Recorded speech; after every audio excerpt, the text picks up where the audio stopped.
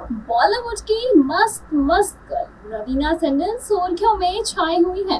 दरअसल एक्ट्रेस के खिलाफ एक बुज़ुर्ग महिला समेत दो की अन्य महिलाओं के साथ मारपीट करने का मामला सामने आया है। दरअसल सोशल मीडिया पर एक्ट्रेस का एक वीडियो जमकर वायरल हो रहा है, जिसमें वो भीड़ से घिरी हुई नज़र आ रही है। पीड़ित ने रवीना पर आरोप लगाया है कि एक्ट्रेस ने उनके साथ मारपीट की है। जिसमें एक महिला का सर फट गया और गंभीर चोट लगी है। आइए जानते हैं कि क्या है ये पूरा संगीन मामला।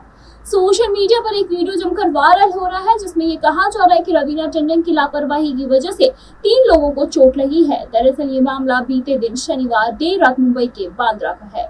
एक्ट्रेस अपने ड्राइवर संग कहीं से आ रही थी तो ड्राइवर की लापरवाही की वजह से तीन महिलाओं को टक्कर लग गई। पीड़िताओं ने एक्ट्रेस रवीना टंडन पर मारपीट करने का भी आरोप लगाया। कथित तौर पर एक्ट्रेस नशे में थी ऐसे में हादसे के बाद गाड़ी से बाहर आकर उन्होंने महिलाओं के साथ मारपीट की और पूरा व्यवहार भी किया।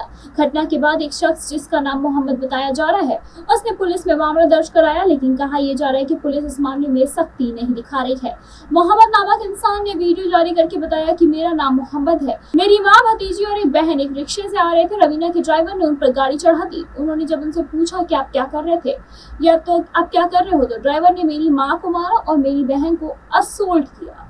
उसके बाद रवीना गाड़ी से बाहर गई और उन्होंने जो नशे की हालत में वो थी, उन्होंने भी मेरी माँ को मारा, जिसने मेरी माँ और भांजी का सर फट गया। बताते चले कि इस केस में पुलिस कोई कार्रवाई नहीं कर रही है। पीड़िता ने बताया कि को, कि वो इस मामले में मुंबई पुलिस पर पुलिस स्टेशन में भी आए, लेकिन उनके पे कोई सुनवाई नहीं की जा रही। वो काफ़ी देर से यहाँ खड़े हैं, उनके केस के बारे में कोई नहीं सुन रहा है।